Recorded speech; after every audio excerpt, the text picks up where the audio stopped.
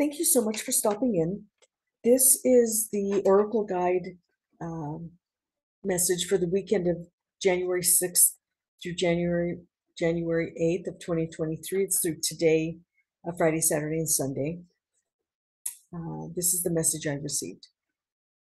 This, no, there is much hidden that no one is allowed to speak of. The balance is getting nearer, nearer. If you sense a personal, intuitive energy, it is necessary that you pay attention.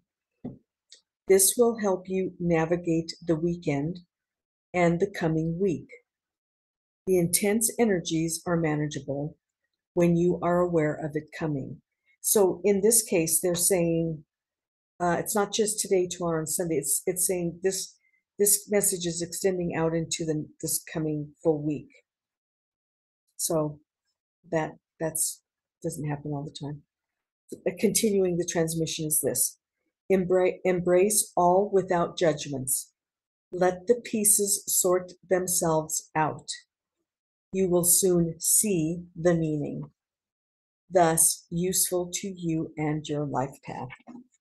Very nice. So enjoy your weekend. Have a really great time. Um, stay tuned because there's a lot more to come. I, I- I mean, I'll probably be back tomorrow, but most likely Monday. So have a good weekend. Stay tuned because there's a lot more to come.